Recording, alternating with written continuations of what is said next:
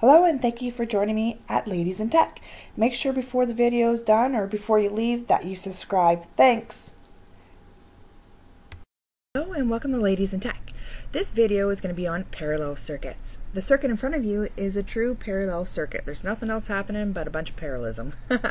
Anyways, so what we have is a 12 volt DC battery and it's supplying power to this circuit and in this circuit we have R1, R2 and R3 and they are all in parallel with each other. R1 being a 1 kilo ohm resistor, R2 being a 220 ohm resistor and R3 being a 560 ohm resistor. So what we're going to do, we're going to solve this problem. We're going to solve some unknowns in this circuit.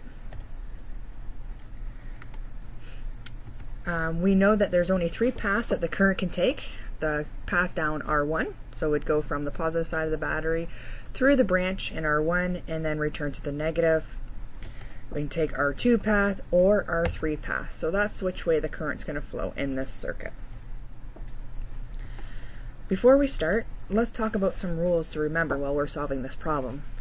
Alright, so rule number one for a parallel circuit is that voltage is the same in a par in all parallel branches. Okay, so each of the branches that we just went over there, R1, R2, R3, the voltage will be the same. So if I tell ask you for V1, V1 voltage for that path is going to be 12 volts. R2, 12 volts, R3, 12 volts. Rule number two. In a parallel circuit, to find total resistance, we use the following formula. R total is going to equal 1 over 1 over R1 plus 1 over R2 plus 1 over R3. When I say 1 over, it's the same as saying the inverse of. Rule number 3. The sum of the current down each of the parallel branches will equal the total current. So this is a good rule to remember, especially if you're checking yourself at the end to make sure that you've solved the correct, that you solved the, the problem correctly. Rule number 4, V equals I times R. Ohm's law. We can use V times R to almost solve every, well, pretty much solve everything in the circuit other than the R total. So that's a good formula to remember.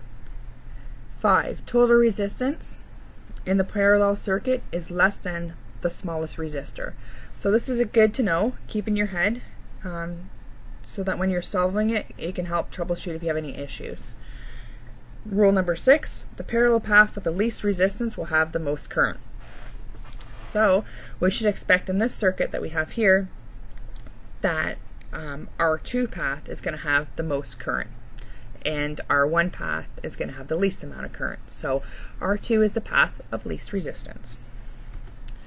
So what are we given? We're given that R total, or V total, sorry, is 12 volts DC. R1 is 1,000 ohms. R2 is 220 ohms and R3 is 560 ohms. We're going to solve for, in this circuit, I total, which is your total current for the circuit, I1, which is the current for the path of uh, with the R1 resistor, I2 is the path with the R2 resistor, I3 is the path with the R3 resistor, and then we're going to solve for also the total resistance. So, let's look at rule number one. Voltage is the same in, in parallel branches.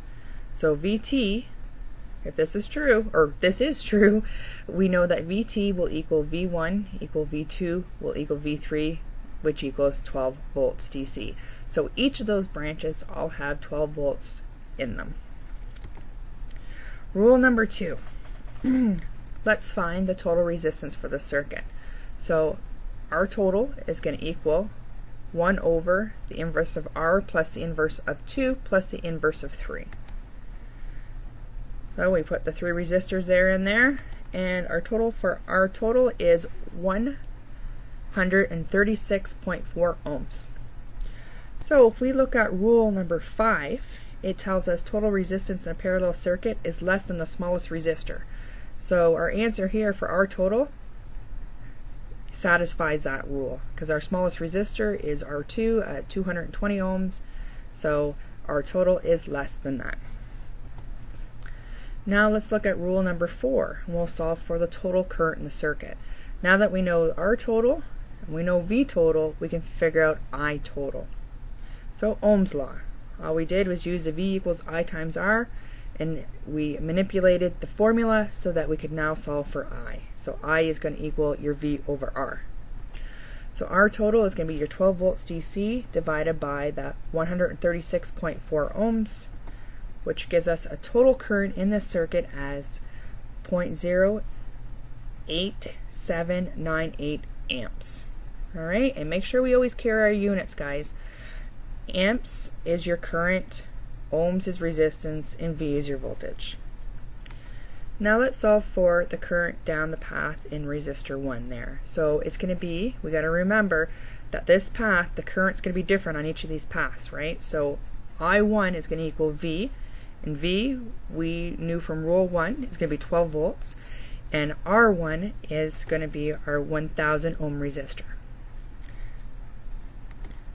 So, using this formula, I1 equals 0.012 amps. now let's solve for V or for I2. I2 is going to be your voltage over your resistor 2. So it's your 12 volts divided by your 220 ohms, which gives us a current down I2 is going to be 0.0546 amps. Now finally, let's solve for I3. I3 is going to be your voltage over your R3, which is going to be 12 volts over your 560 ohms, which gives us a current of I3 equals 0.02143 amps. So if we look at our answers that we got for I1, I2, and I3, and we look at the rule for rule number 6, the parallel path with the least resistance will have the most current. So if we look at the I2, is the greatest current out of the three we just solved. So with 0.0546 amps, it is the biggest amount of current passing through, whereas I1 with the highest resistance has the least amount of current going through. So we satisfied rule number six. Now let's look at double checking our work to make sure that it satisfied rule number three. So rule number three states that the sum of the current down each of the parallel branches will equal the total current. So IT is going to equal I1 plus I2 plus I3. IT will equal 0.012 plus 0.0546 plus 0.02143, which that gives us a total current, if we add those all up, of 0.08803 amps.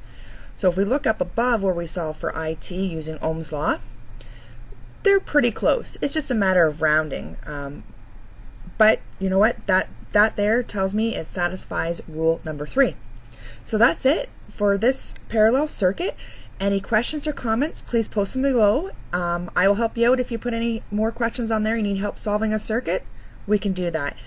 Uh, please subscribe. I'll be doing more of these short little demos on parallel and series circuits. All right, thank you. Have a great day.